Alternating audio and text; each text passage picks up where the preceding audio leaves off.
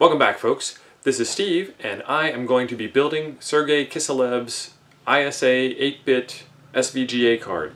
It's a Trident 9000 based card and if you've ever seen a Trident 9000 if, you, if you've ever seen a Trident 9000 based card um, this is an 8900. This is the one I showed you in the last video. See this chip here with all of those, just trying to focus on my face, all of those pins on it? That's a lot of pins. That's kind of a pain in the butt. Um, so to be honest, I'm a little intimidated by it, but we will figure out a way to make this happen and get this thing done and uh, stick around. Oh, and uh, be sure to do that whole like, comment, subscribe thing down below, and we'll uh, see you after the break.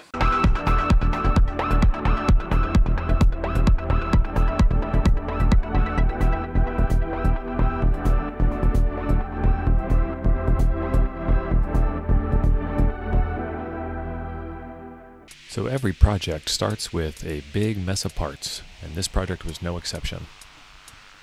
All this stuff was pretty easy to do except for this VGA chip here. There's a whole lot of pins. I'm going to put down some flux with my flux pen. I'm going to tack down one corner, make sure everything's good. Spend a lot of time at this stage to make sure that everything else is set up right. And then let's just start spreading the love. And the goal here is to get just enough solder on, and I'm relying on surface tension and fluid dynamics and solder mask and chemistry and all kinds of stuff that's way above my knowledge level. But it's supposed to work. Let's see what we can do with it.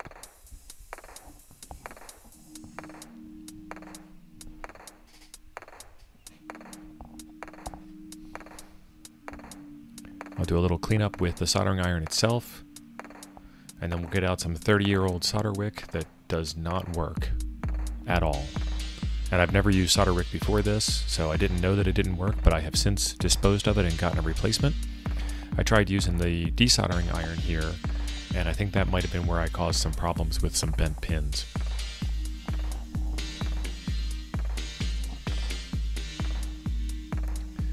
So I fiddle with this for way longer than I should, and eventually decide to be happy with it no, fiddling some more. Still not happy. Trying to unbend some pins.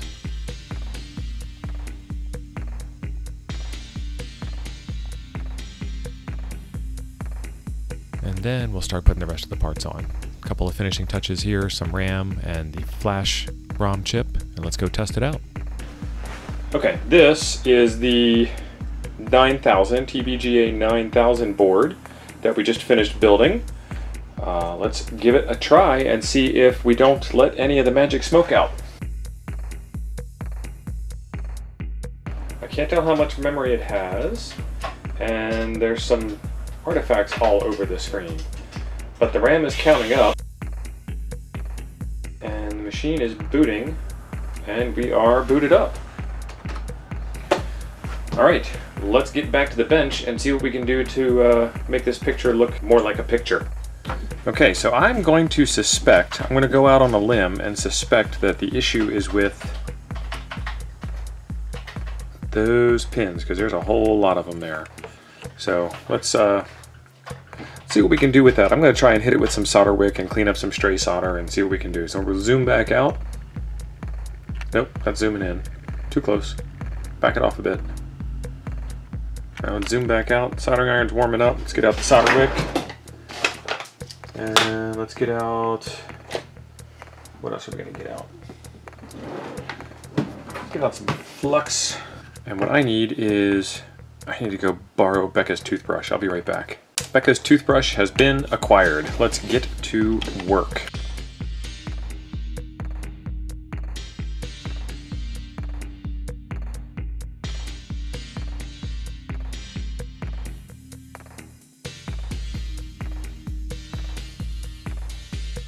Okay, we just tried a whole bunch of uh, mess with this card. And let's see if we can see some progress. Honestly, I'm not all that hopeful.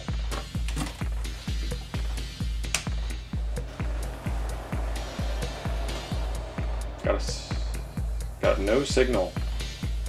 Yep, it got worse. All right, we're back from the bench. I found one pin that wasn't connected. Not, I'm still not really happy with this, but uh, let's give it a shot. All right, we've got a signal. Ooh! 512K of memory, that looks about right, because this has got half the memory of the other card. And we are booting. Oh my goodness.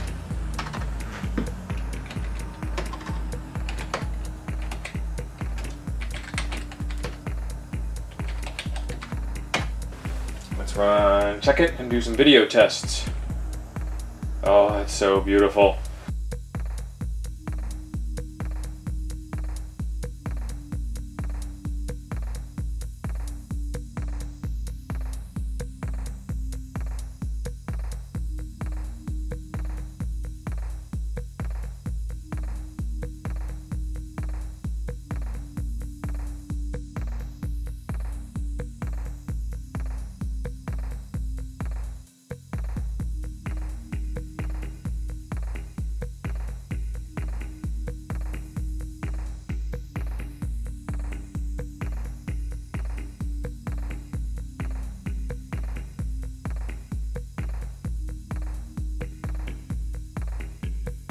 Awesome.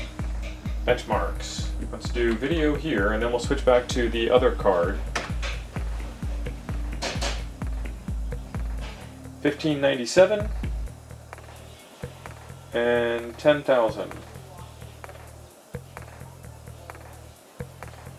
Okay, let's try saving it. And let's call this blue.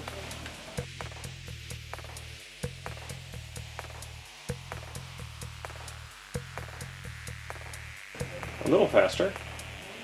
And a little faster. Let's compare it to the other card. Yeah, so direct video is the same speed and BIOS video is a little faster with the 8900C versus the 9000. Excellent. Okay, so to be honest with you, building this card took longer than I thought it would. I actually started building this card before I started building the uh, floppy drive controller and the compact flash adapter, the IDE adapter, um, and it was a pain. And I will tell you what, I say very often, if it's ugly and it works and it ain't ugly, this ain't ugly. Because it works. Whew. Um, I plugged this thing in at first and saw that mess on the screen. I was not happy. Uh, I took a break for a while. I did some other things trying to regain some confidence and uh, made it work. Um, I am not going to touch this card anymore. This is how it is going to look for quite a while. Um, so on this side, on this side, and on this side, there are some messed up pins. And that, there it is. That is, uh, it's working. You saw all the diagnostics pass. I'm actually kind of afraid to clean it up anymore. Um, but we got it working, and that's really all that matters, and we can continue forward on our journey of building out a uh, XT compatible computer and keep right on moving. So I am, I'm kind of relieved more than I am happy at this point. Um, not gonna lie, this was pretty tough. This is, I, I probably will not do this again. Um, a, a, surface mount tiny pin package is what I mean by this. I probably will not do a surface mount tiny pin package again because that was pretty difficult. But I appreciate you guys coming along for the ride and I know you were there in spirit cheering me along. So once again, thanks for being awesome. We'll see you in the next one. Okay, so I'm just finishing up the final edits on the video. I'm pointing at the video workstation over there like you guys can see through the camera, through the backside of the... If you're looking in the mirror behind me, that's what you're doing. I, I can tell what you're doing. Um, and I realized I didn't really tell you what I did to fix the card.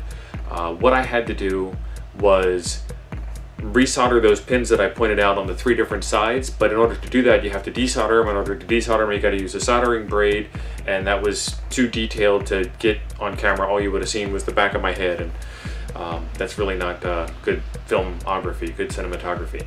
But uh, desoldered the pins, got in there with my uh, little X-Acto knife and straightened them out because they were bent. Um, soldered them back in place because they needed to be soldered back in place and got the job done. It was more challenging than it needed to be. The, the right way to do that is not with a uh, hand soldering iron. The right way to do that is with proper surface mount techniques. Obviously it can be done because I got it to work.